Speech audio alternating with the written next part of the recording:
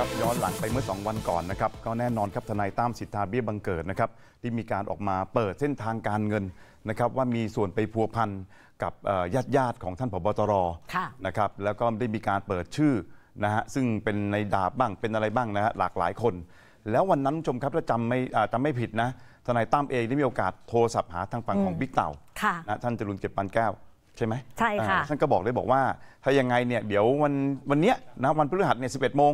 ให้เอาหลักฐานมายื่นได้เลยค่ะใช่ไหมใช่ค่ะอ่าตอนแรกท่านบอกว่าให้ทนายตั้มมาไปยื่นไว้ก่อนทนายตั้มก็สวนบอกว่าอ้าวทำไมแล้วทำไมคนอื่นน่ะยังไปยื่นท่านเองได้ทำไมผมถึงจะต้องเอาไปร้องค่ะผมเอาไปยื่นท่านเองไม่ได้เหรออะก็เลยมีการนัดกันวันนี้คุณผู้ชมครับ ล่าสุดทนายตั้ม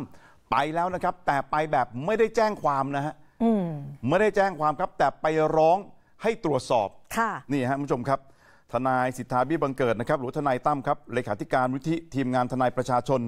เดินทางไปที่กองบังคับการปราบปราม การทุจริตและประพฤติมิชอบนะครับหรือว่าบกปปปเอาเอกสารหลักฐานเส้นทางสวยนะครับที่เกี่ยวข้องกับตำรวจใน 3 หน่วยงานครับของสำนักงานตำรวจแห่งชาติ และเกี่ยวโยงนะครับไปถึงนายตำรวจใหญ่บางท่าน ที่ทนายตั้มเองเนี่ยเคยนำมาเปิดเผยไปแล้วนะครับเมื่อวันที่ 26 มีนาคม เอาไปมอบไปกับทางพลตำรวจตรีจรูญเกียรติปานแก้ว รองผู้บัญชาการตำรวจสอบสวนกลาง เพื่อให้ตรวจสอบนะครับ หลังได้รับโทรศัพท์นัดหมายกันไว้ก่อนหน้านี้แล้วอย่างที่ผมบอกไป ทันทีคุณผู้ชมครับที่เจอหน้ากันนะครับทนายตั้มก็บอกว่าเพิ่งได้เจอบิ๊กเต่าตัวเป็นๆครั้งแรก ไม่รู้บิ๊กเต่าจะหนักใจไหมกับเรื่องที่ส่งมาให้ตรวจสอบบิ๊กเต่าก็ตอบมาบอกว่าไม่หนักใจ เพราะเป็นหน่วยงานที่รับเรื่องร้องเรียนจากทั่วประเทศอยู่แล้ว เราต้องกวาดบ้านตัวเอง ไม่ต้องกลัวว่าที่นี่เนี่ยจะลำเอียง พร้อมกับขอบคุณทนายตั้มนะครับที่เอาข้อมูลเนี่ยมาให้ ทนายตั้มจึงถามกลับไปว่า ถ้าข้อมูลที่มีการตรวจสอบพบว่ามีพบตรเนี่ยมีความผิดจะดำเนินการไหมบิ๊กเต่าบอกว่าทุกคนอยู่ภายใต้กฎหมาย ไม่มียศใหญ่ยศเล็ก ทุกคนมีสิทธิเท่าเทียมกัน ยืนยันบ้านเมืองนั้นอยู่ได้ด้วยกฎหมายสำหรับเอกสารที่นำไปยื่นในครั้งนี้ ทนายตั้มก็บอกว่ามาให้ตรวจสอบ 2 ประเด็นนะครับคุณผู้ชมครับก็คือสเต t เมนต์การเงินของทางพิมพ์วิไลเพื่อให้ไล่เส้นทางการเงินนะครับว่าโอนไปกี่ครั้ง ถึงใครและโอนไปเพื่ออะไร เพื่อยืนยันนะครับว่าสิ่งที่แถลงนั้นเป็นความจริง ส่วนประเด็นที่2ครับก็คือข้อมูลแชทและสลิปการโอนเงินไปตรวจสอบว่า เป็นข้อมูลจริงหรือไม่ และเงินที่โอนไปเนี่ยเป็นค่าอะไร ยืนยันว่าวันนี้นี่ยังไม่ได้มาแจ้งความใครนะครับ ถ้าตรวจสอบพบว่ามีความผิดจริง เดี๋ยวจะมาแจ้งความอีกครั้งหนึ่งฟังเสียงทนายตั้มดูครับ นะครับวันนี้ผมมายื่นให้นะครับวันนี้เราก็จะมีสเตทเมนต์ของพิมพ์วิไลนะครับแล้วที่วันนี้อยากให้พี่เต๋าช่วยเลยเนี่ยก็คือการไล่เส้นทางการเงินที่วันนั้นเนี่ยผมได้แถลงไปนะครับว่าได้ให้ยืนยันว่าไอ้สิ่งที่แถลงวันนั้นเนี่ยที่บอกว่าพิมพ์วิไลโอนบัญชีให้คชาชาญคชาชาญโอนให้นัทพงศ์แล้วมีการโอนให้บัญชีกับตำรวจอีกหลายหลายคนเนี่ยแค่อยากให้ตรวจสอบบัญชีเหล่านี้ทุกบัญชีว่ามีการโอนกี่ครั้งนะครับ แล้วโอนไปเพื่ออะไร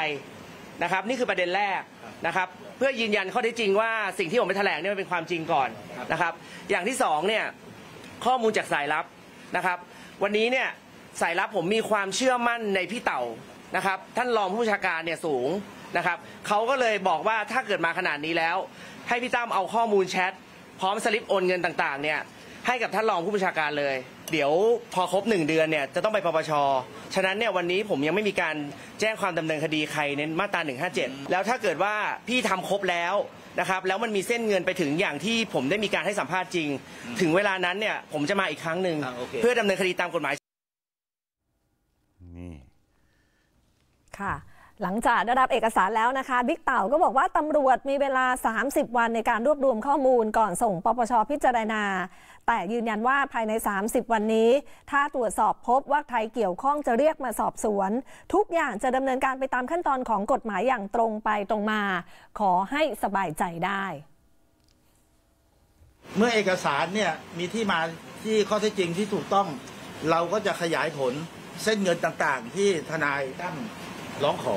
เส้นเงินต่างๆที่ตาทนายตั้มเปิดเผยไปก่อนหน้านี้ค่ะ มันก็เป็นคดีที่อยู่ในมือตำรวจอยู่แล้วนั่นหมายความว่าจริงๆแล้วตำรวจมีเส้นเงินนี้ตั้งแต่แรกอยู่แล้วไหมคะผมยังไม่เห็นเอกสาร แล้วก็ยังไม่สามารถที่จะอะไรได้ เรียกเดี๋ยวเมื่อเห็นเอกสารแล้ว เดี๋ยวเราจะเดินต่อ เราจะสืบสวนทุกวิติใครมาเกี่ยวข้องก็ว่าไปนะครับไม่ไม่ไม่ละเว้นนะครับไม่ละเว้นทนายตั้มเนี่ยรู้อยู่แล้วว่าตั้งอ่ารองจรุงเกียรติเนี่ยอ่าเป็นสายตรงหรือมี ความใกล้ชิดกับอ่ามันจะทำให้มีน้ำหนักกับเรื่องดังกล่าวหรือไม่ฮะผมเนี่ยเติบโตมาจากการทำงานโดยเฉพาะ แล้วผมอะไม่เคยใช้คำหยาบๆไม่เคยเรียนนาย เพื่อความเจริญก้าวหน้าการตรวจสอบหลังจากนี้ถ้าเกิดว่าพบความผิดจริงเนี่ย คือถ้าผิดแล้วเนี่ยคือใหญ่แค่ไหนก็จับใช่ไหมครับท่าน คือผมบอกแล้วว่าไม่มีใครใหญ่กว่าประตูห้องขังนะครับ ทุกคนเข้าไปพักผ่อนได้สบาย ใหญ่เท่าไหนก็จับนะครับ ไม่ต้องกลัวไม่ต้องกลัว ไม่ไม่ไม่มีลำเอียงฮะไม่มีลำเอียง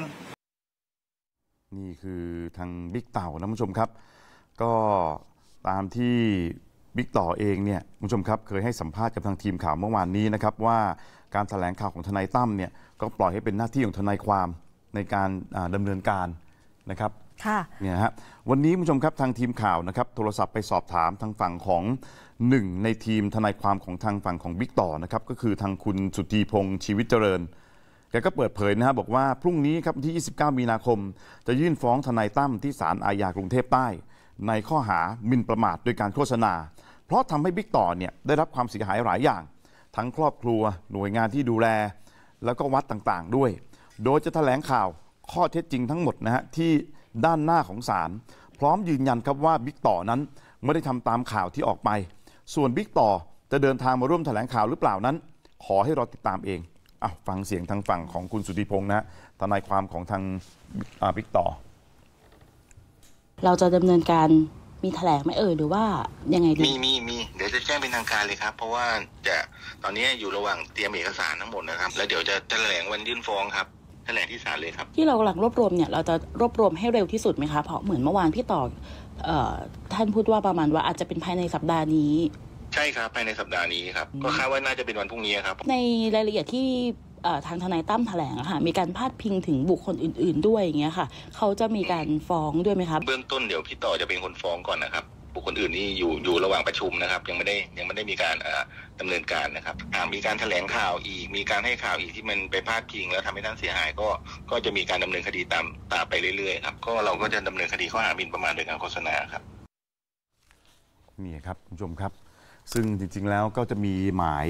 นะครับเป็นหมายที่เขามีการแชร์กันตั้งแต่ช่วงเช้าแล้วค่ะนะครับก็บอกว่าเรียนสื่อมวลชนนะครับพรุ่งนี้วันที่ 29 มีนาคมปี 67 เวลาบ่ายโมงครึ่งครับที่ศาลอาญากรุงเทพใต้